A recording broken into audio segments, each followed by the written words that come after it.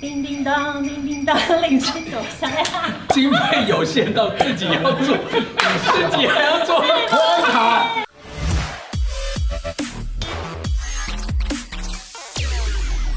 节目不荒唐，点阅不上扬，欢迎收看今天的大概是小牧师。耶！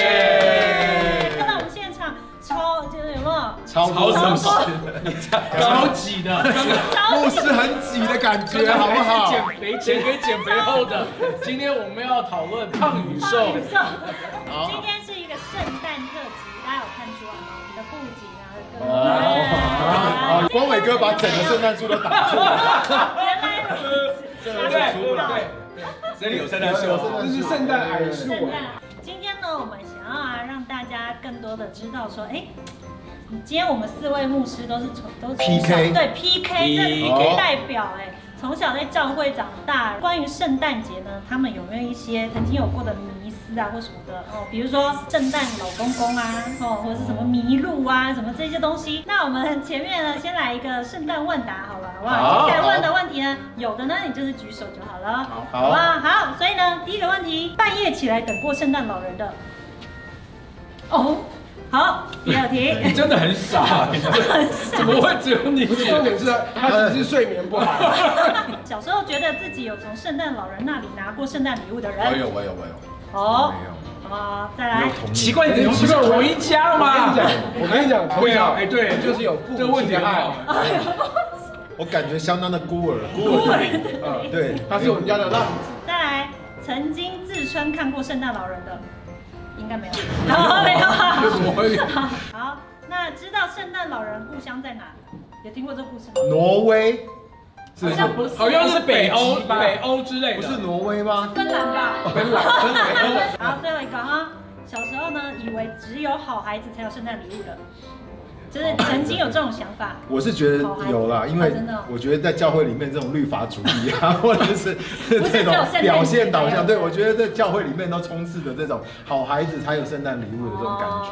对对对哦有点伤心。好啊，好的，我们的问答结束。好就是说大家跟同事们可以聊聊啊，小时候啊，你们就是对于圣诞节的看法或是想法。很多的那种失落啦，对啊，因为爸妈都在忙教会的事情，流泪。对啊，然后通常都很多人一直来我们家吃饭，就要接待很多的人。然后呢，一大堆人来我们家吃饭都不认识，不知道他们是谁。然后我妈妈就一直帮他们办那种什么抽奖啊，然后就把我们的奖品都给他们对啊，然后就是都是给别人的，然后我们都就还好这样子，所以就在陪着人家一直抽奖圣诞福音茶会那种东西吗？之类的，都是这样子。哦，对啊，我们啦，我们家是这样子哦哦哦，啦对啊，都是为了别人。那黄伟哥，其其实也是因为其实我我们家很穷，那时候所以没有。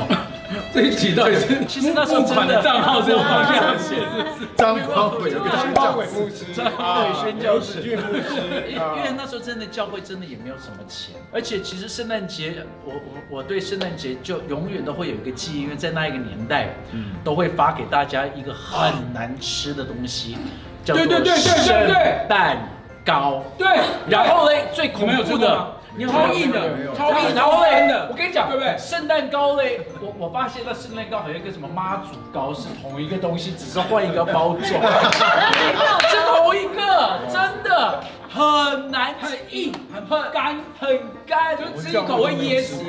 我们完全没有吃过哎。所以我对圣诞节的记忆真的就是一个是圣诞糕，然后呃没有什么礼物，但是爸爸不是有。啊对，就是我对小时候的一个记忆就是圣诞老人就是我爸爸，因为每一年圣诞老人就是我爸爸穿成是圣诞老人在教会里的那种主任牧师就是要做圣诞老人。的，难怪我们的身材就要一直保持为了圣诞节。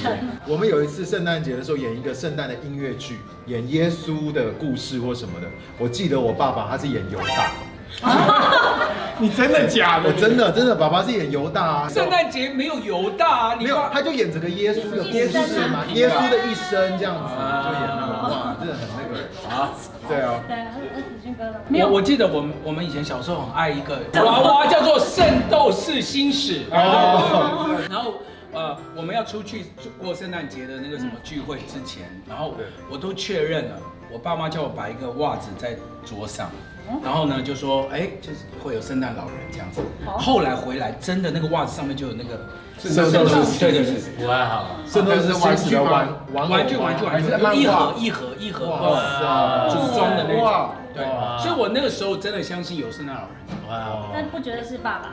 不觉得，因为我我印象中他们也是跟我一起出去，没想到他们不知道是什么偷天换日，还要有人没有请童工，但是你知道我圣诞节有一年的圣诞节最特别的是什么？就是他们带我去一个的会堂，叫做凯歌堂，然后就有一个老婆婆给了我一份礼物，然后之后我才知道原来是蒋夫人。哦，哎呦，哦，是蒋夫人发礼物。收到一个属灵的礼物。对对对，好，第二个问题，就是说，你们过去啊，就是除了教会活动之外，有没有其他的圣诞节会做的事情？